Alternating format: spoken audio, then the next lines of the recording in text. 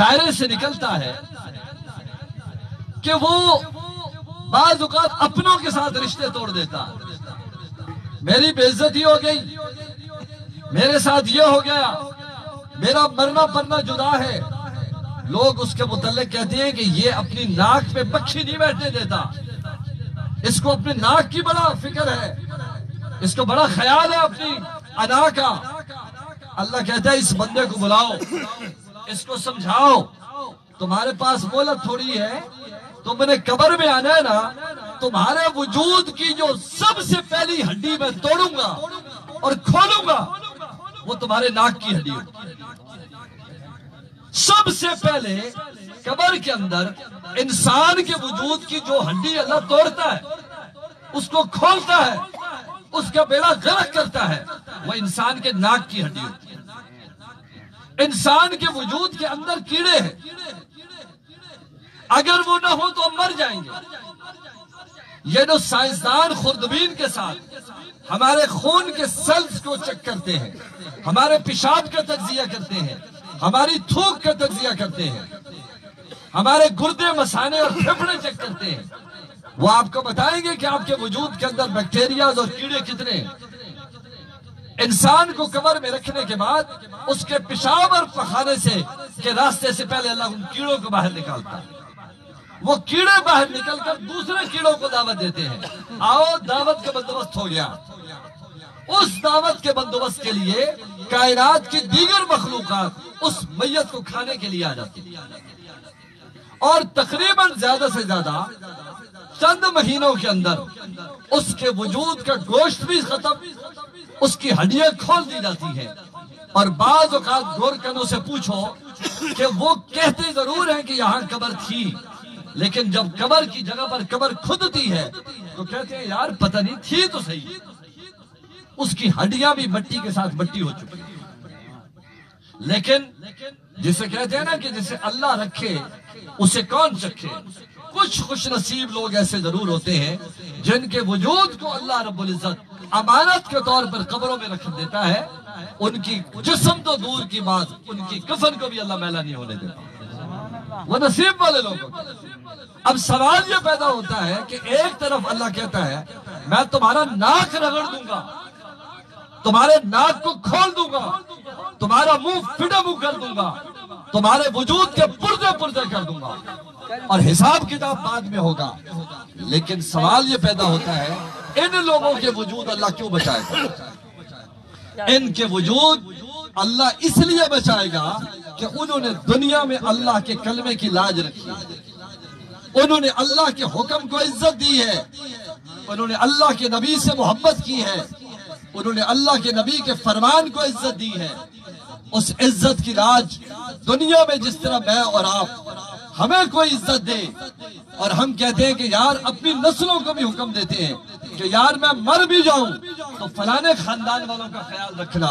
उन्होंने हमारे मुश्किल वक्त में हमारे साथ खड़े रहे थे और हमारे मरने पड़ने पर उन लोगों को ज़रूर बुलाना, उनको ना भूलना।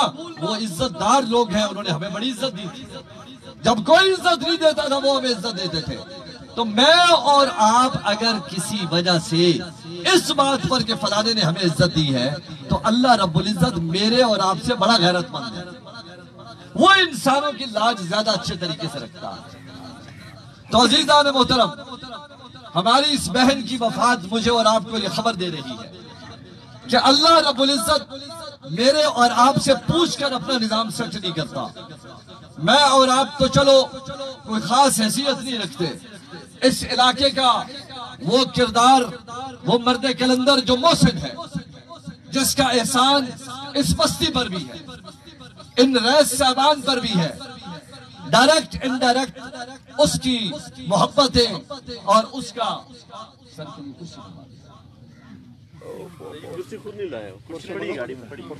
नहीं अगर इजी बैठ जाए तो ठीक है हाँ नहीं नहीं इजी बैठने गाड़ी में तवज्जो इधर रखेंगे।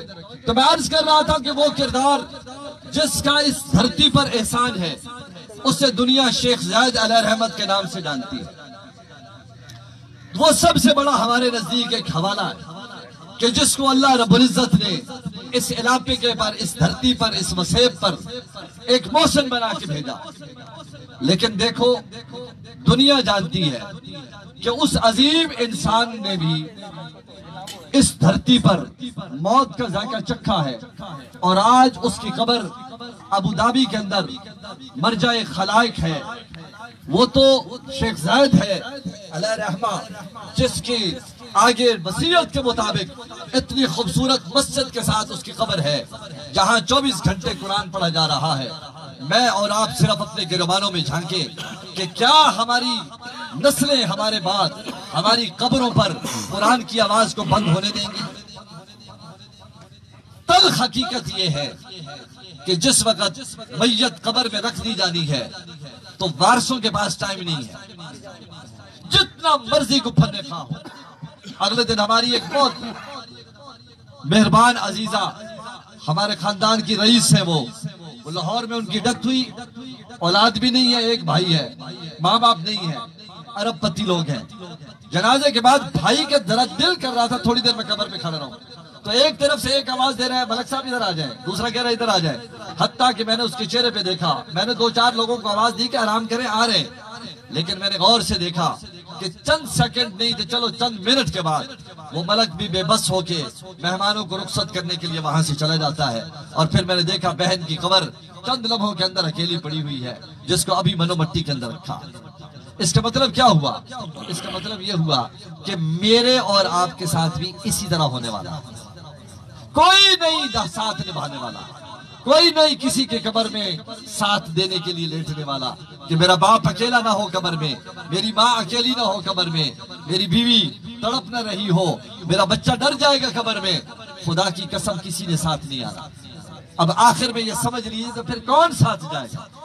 अल्लाह रब्बुल इज़्ज़त ने फरमा दिया कुरान में कि मैयत के साथ जो चीज़ भी उसके पास दुनिया की है, मकान, कमरा, सामान, लिबास, जो जेवर, जो कुछ भी है वारसों ने एक एक करके उतार लेना। जो चीज़ उसके पास जानी है, वो वो कपड़ा है, जो इस इस पंडाल में बैठा हुआ कोई भी शख्स वो कपड़ा नहीं पहनना चाहता। अगर दुकानदार से पूछो कफन का कपड़ा है तो वो क्या है। कभी सुना है किसी ने कि दुकानदार कहे कि ये कफन का कपड़ा है और आदमी कहे, ये काट दो, मैंने इसे सूट सिलवाना है। कोई कफन के कपड़े से सूट नहीं सिलवाता। अल्लाह कहता है फन खां बड़े, छोटे, अमीर, गरीब नेक बद, शुक्र करो कफन का कपड़ा मिल जाए। शुक्र करो कबर, कफन का कपड़ा मिल जाए, वरना अपनी आँखों से दुनिया भर में देखो कितने लोग हैं जो ऐसे हादसा में मरते हैं कि करीब वारिस कोई नहीं होता, पहचान कोई नहीं होती, और नतीजा ये होता है, लावारिस समझ के लोग दफना देते हैं। तो कफन के कपड़ा किसी बड़े ने अजीब जुमला लिखा है कि इंसान बगैर लिबास के आया और गया तो सिर्फ़ एक कफन का कपड़ा लेके गया। तो क्या पूरी ज़िंदगी में इंसान एक कफन का कपड़ा लेने दुनिया में आया था? अल्लाह रब्बुल इज़्ज़त ने फरमाया, इसके साथ सिर्फ़ दो चीज़ें जाएँगी। एक उसका ईमान और एक उसका अमल साले। अमल साले और ईमान। ये क्या चीज़ है अमल साले और ईमान? इस एक फलसफे को समझाने के लिए अल्लाह रब्बुल इज़्ज़त ने एक लाख चौबीस हज़ार पैगंबर भिजवाए एक लाख चौबीस हज़ार पैगंबर कोई मुझे और आपको ये समझाने नहीं आया कि पर एकड़ पैदावार कितनी ज़्यादा लेनी हो तो कौन सा बीज इस्तेमाल करो? ज़मीन के लिए कौन से हुनर इस्तेमाल करो? फैक्ट्री लगानी है तो किस गुण से लगाओ? जिद्दत पसंद गाड़ियाँ लेनी है तो कौन सी गाड़ी और किस किस्म की गाड़ी अच्छी रहेगी? खुदा की कसम मेरे और आपको एक लाख चौबीस हज़ार पैगम्बरों ने न घर बनाने, न सामान तैयार करवाने, न फ़सलों से ज़्यादा बीज की बुनियाद पर ज़्यादा फ़सलें उठाने और कारोबार से ज़्यादा नफे उठाने के लिए गुर नहीं समझाए। समझाया है तो ये कि ईमान क्या होता है और अमल साले क्या होता है। हम तो उस पैगंबर के उम्मत ही हैं। जो एक मेरा पैगंबर उस गजबे के बाद, जिस गजबे में इतना माल आया कि एक एक सहाबी को लाखों दिरम मिल रहे थे। और मदीने के हर घर में तड़के लग रहे थे देसी घी के, और शहद की खुशबू आ रही थी, पकवान पक रहे थे। और जब मगरब के वक्त मेरा नबी अपने हुजरों में आता है और अपनी बीवियों से आके फरमाता है और भले लोगों, आज खाने में कोई चीज़ है?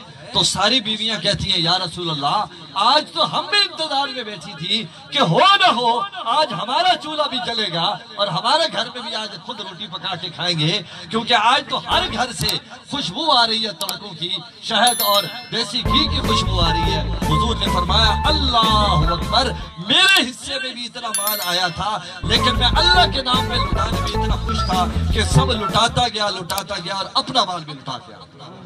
खुदा की कसम, जिस दिन मदीने के अमीर गरीब के घर के अंदर वो रोटियाँ पक रही थी, हलवे मांडे पक रहे थे, उस दिन भी मेरे नबी के घर का चूल्हा नहीं जला उस नबी की मैं और आप उम्मत जिसकी बीवियाँ उससे कहती हैं कि एक दिन कह बैठी बेचारी कि यार रसूलुल्लाह, दुनिया के रईसों के घर में क्या क्या नहीं होता? ए अल्लाह के नबी और ए इस कायनात के अर्जो समा के मालिक ए शहनशाह अर्जो समा, हमारे घर में फूटी कौड़ी नहीं है, बाकी बादशाहों की बीवियों का क्या हाल है? तो हुजूर ने एक जुमला बोला, चेहरे पे सुर्खी और नाराज़गी का इजहार। और फरमाने लगे अच्छा तुम्हें वो चाहिए तो कोई मसला नहीं, मैं अभी खड़े पाँव तलाक दे देता हूँ और दुआ भी दे देता हूँ। दुनिया के माल से अल्लाह तुम्हारी झोलियाँ भर देगा, लेकिन याद रखना, अल्लाह और उसके रसूल की मोहब्बत नहीं मिल सकती। अगर ये सौदा मंजूर है तो अभी कर देता हूँ। वो सारी रोती हुजूर के पाँव पड़ती है। या रसुल्ला हमने तो ऐसे ही कह दिया था। हमारा ये मुतालबा नहीं है। हमने तो दिल से एक बात निकली कह दी, हुजूर ने फरमाया, मेरी हैसियत पूछना चाहती हो कि मेरे लिए इसकी वैल्यू क्या है? खुदा की कसम। या अल्लाह के नबी का जुमला बोल रहा हूँ। हुजूर फरमाता खुदा की कसम, ये सामने जो ओहद पहाड़ है, ओहद पहाड़ की तहकीक दुनिया कर चुकी, छह से सात किलोमीटर लंबा है। और गहरा कितना किसी को नहीं पता। हुजूर ने फरमाया, मेरे रब की कसम, ये सामने ओहद पहाड़ है। मैं अभी उसको उंगली का इशारा कर दूँ। मेरे रब की कसम, ये अभी सारे का सारा सोने का हो जाए। सिर्फ़ सोने का हो गया नहीं, मेरा ऐसा फर्मा बरदार गुलाम होगा। मैं जिधर जाया करूँगा, जानवरों की तरह जिस तरह पालतू जानवर पट्टा बांधा होता है मालिक के पीछे पीछे चलता है। फरमाया, ये ओहद पहाड़ मेरे पीछे पीछे चलेगा जहाँ मैं जाऊँगा। लेकिन मेरे रब ने मुझे समझाया है ये सारी ज़िंदगी कख भी नहीं है सब कुछ आखिरत है। इसलिए मैं तो वो पैगंबर हूँ जो अल्लाह से हर वक्त ये दुआ रखता हूँ या अल्लाह मुझे मिस्कीन रख और मुझे मिस्कीनों में सुन और एक रिवायत में आता है कि इस नबी के उम्मत के जो मिस्कीन है उमरा से सुफरा से और बड़ों से पाँच सौ साल पहले जन्नत में दाखिल हो और जो बंदा सबसे पहले मेरे नबी के साथ दाखिल होगा वो कायनात का सबसे बड़ा मिस्कीन है। वह सैयदना बिलाल है। उसने मेरे नबी की ऊँटनी की लगाम पकड़ी हुई होगी। दरवाज़ा खुलेगा तो आपको पता है जिसके हाथ में लगाम होती है वो आगे चल रहा होता है जानवर पीछे आ रहा होता है। नबी ऊँटनी में बैठा होगा।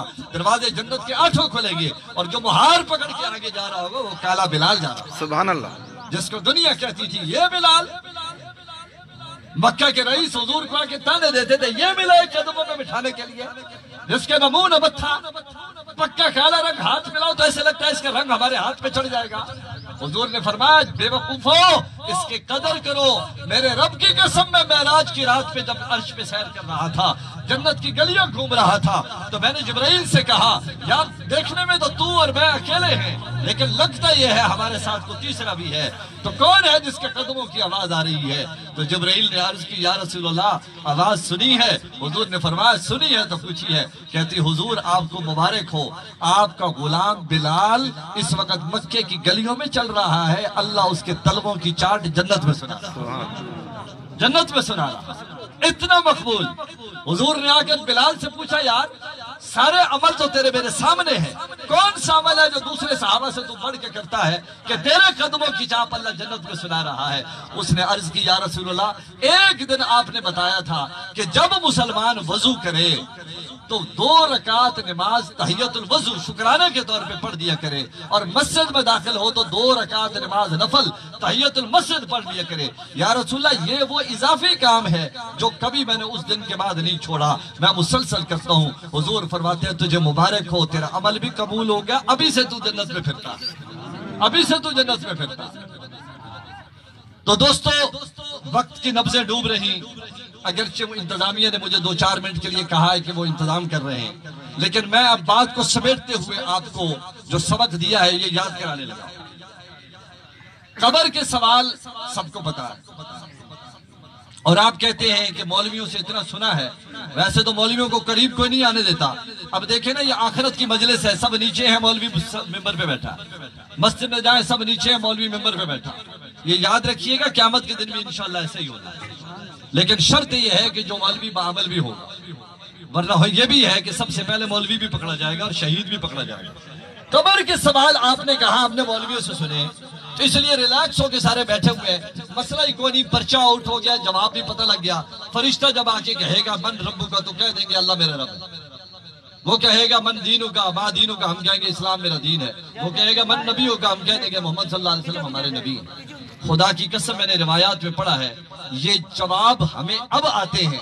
लेकिन कबर में जाकर ये जवाब उसकी जबान पर आएँगे, जिसने दुनिया में अल्लाह को अल्लाह मान कर अल्लाह के मानने की कोशिश की हो। और इस्लाम दीन बताना उसको जवाब नसीब होगा, जिसने इस्लाम के तकाजों के मुताबिक ज़िंदगी गुजारने की कोशिश की हो। और नबी सलाम को वो बता सकेगा कि मेरा नबी है, जिसने दुनिया में हुजूर की सच्ची गुलामी करते हुए हुजूर के फरमान पर चलने की कोशिश की हो। अब आखिरी बात भी सुन ले। आज दुनिया में बड़े बड़े लोगों को आप देख रहे हैं, नैब में पकड़े पड़े और उनसे एक चीज़ मांगी जा रही है, जिसको दुनिया कह रही है मनी ट्रेल ये मनी ट्रेल दुनिया वालों के लिए नवा मसला है। अल्लाह के कागजों में ये पुराना मसला। आखिरत के पाँच सवाल है, वो भी सुन ले सिर्फ़ सवाल बता रहा हूँ। उनमें से पहला सवाल ये है, तुमने ज़िंदगी कहाँ गुजारी? ज़िंदगी कहाँ गुजारी? और ज़िंदगी की तारीफ़ सुन ले, माँ की कोख से जब हम जुदा हुए हैं और कबर के पेट में गए हैं, ये टाइम हमारी ज़िंदगी कहलाता ठीक है। ठीक है? अच्छा। अब इस ज़िंदगी में जवानी, बुढ़ापा, लड़कपन सब कुछ है। तो पहले तो ये पूरा डाटा दिखाना पड़ेगा दादी। सारों को मुझे समेत आप सबको, कि ज़िंदगी माँ की कोख से लेके कबर के पेट तक हमारी कैसे गुजरी? ये पहला सवाल। दूसरा सवाल ये, जवानी कहाँ गुजारी? ये जवानी मेरे और आपके कंट्रोल में नहीं होती। और वो हम और आपने ये सुन रखा है कि वो जवानी जवानी नहीं जिसकी कोई कहानी ना हो। लेकिन मेरे मुर्शिद जनाबे हज़रत शेख सादी फरमाते हैं कि ये जवानी जो है ना, दर जवानी, तोबा करदन शेवा पैगम्बरी और बुढ़ापे में जाके जब मुँह में दांत भी कोई ना रहे, वो तो चीता और बिगाड़ जो है ना, वो भी शिकार छोड़ के मुँह में बन जाता है। मसला ये है, जिसम में तवानाई भी मौजूद हो, ख्वाहिशें भी जवान हो और हाथ की पकड़ भी हो जज्बात भी मौजन हो, उस वक्त अंदर बंदा गुनाहों से बचे, उसको कहते हैं, ये मुजाहिद है, ये जवान है। तो फरमाया, दूसरा सवाल ये होगा, जवानी किन कामों में गुजारी? दो, अब तीसरा सवाल है, मनी ट्रेल शुरू हो रही है। अल्लाह ताला पूछेगा, तूने माल कहाँ से कमाया? माल कहाँ से कमाया? ये माल कमाने की कहानी कब से सुनानी है? जब माँ बाप के पर से हम पैसे चुराते थे। वो बगैर पूछे ना, पैसे ले लेते थे, दुकान के गले से पैसे उठा लेते, छोटे थे।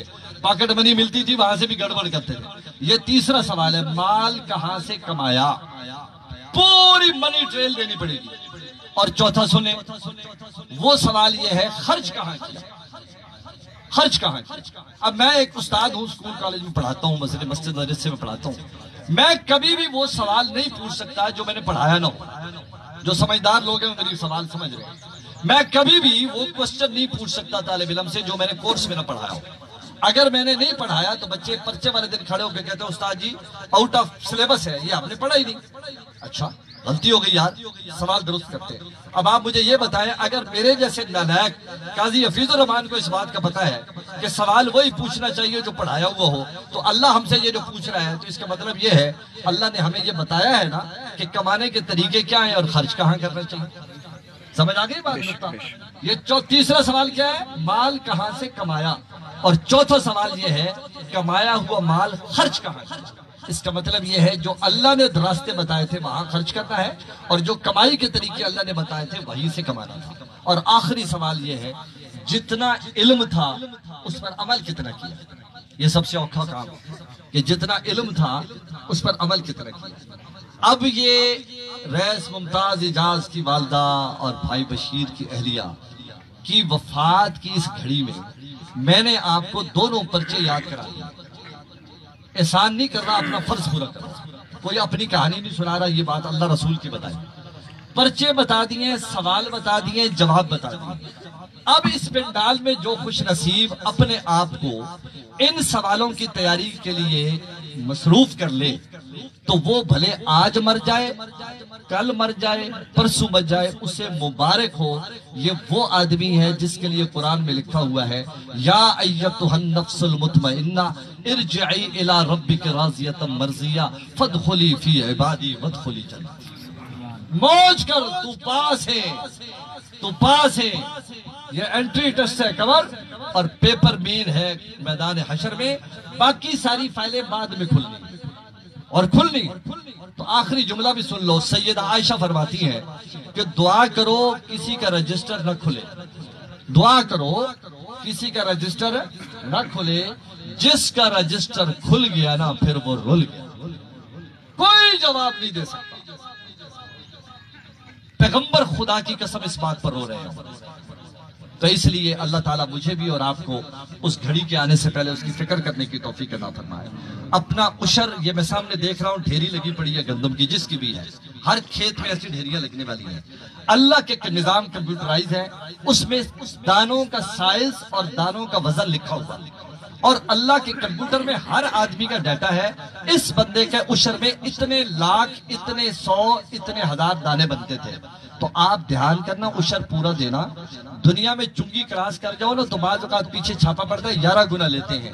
अल्लाह ग्यारह गुना का पाबंद नहीं है, वो अपने हिसाब से लेता है। बाज मौज करा के इतना रस्सी खींचता है कि बंदा कौड़ी कौड़ी का मोहताज होता है। उशर पूरा दिया करो, जक़ात, ज़िम्मेदारी के साथ दिया करो। अपनी धी धैन का हक विरासत में पूरा दिया करो, भले सारी बरादरी आपको बुझा मारे, आप कहे, मारो बुझे, लेकिन अल्लाह का हुक्म है, हम तो देगा हक मेहर अपनी बेटियों का सही लिखवाया करो और ज़रूर लिखवाया करो। बाइज्जत लिखवाया करो। कमी कमीनों वाला ने लिखवाया करो। मौलवी को उस वक्त आप ताने देते हैं कि मौलवी साहब, आपके पेट में मरोड़ पड़ी है। जब हम कहते हैं कि पाँच सौ लिखो, अल्लाह की कसम उठा के कह रहा हूँ, आज के जमाने में पाँच सौ हक मेहर की कोई हैसियत नहीं। हकमैर पूरा वजनी लिखवाया करो। ना ले बेटी, ना ले। लेकिन तकड़ा लिखवाओ, ताकि तलाक देने वाला जब देने लगे तो एक दफ़ा सोचना पड़े। जब हमारे यहाँ लिखा ही कुछ नहीं होता तो वो पाँव की जूती की तरह उतार के फेंक देते हैं हमारी बेटियों पर। उसका हिसाब रखा करो, ये हम और आप जिम्मेदार हैं इस मामले में। और नमाज़ की फ़िक्र करो, कोई किसी की ज़िम्मेदारी नहीं उठाएगा। दस साल तक अल्लाह ताला ने छूट दी है, बाद की नमाजें आपकी मांगी जाएँगी। अपनी रोज़े जो रह गए कजा करो, और अपने मामला अपने दुरुस्त रखो। जो साथी नाराज़ हैं, माफ़ी मांग लो। और नाराज़ तीन दिन तक शरी उजर के तहत रहा जा सकता है। तीन दिन के बाद अगर कोई मुसलमान किसी से बोलचाल नहीं करता, अल्लाह के नबी ने फरमाया, उसका ईमान, उससे रुखसत हो जाता है, वो बेईमान और बेईमान होकर दुनिया में जीता। अपनी तोबा तैब हो, नाराज़ लोगों को बनाओ और माफ़ करना सीखो। जिनको माफ़ करना आता है, अल्लाह की कसम, अल्लाह भी उन्हीं को माफ़ करेगा। अल्लाह ताला मुझे और आप सबको समझ कर अमल की तोफ़ी का फरमाए। अब वक्त हो गया, अब तमाम अहबाब एक दफ़ा अव्वल, आखिर दरूज शरीफ पढ़ ले, एक दफ़ा अलहम शरीफ की तलावत सारे मिलकर कर ले, तीन दफ़ा कम से कम कुल वल्लाह की तलावत कर ले फिर इंशाल्लाह मिलकर दुआ कर ले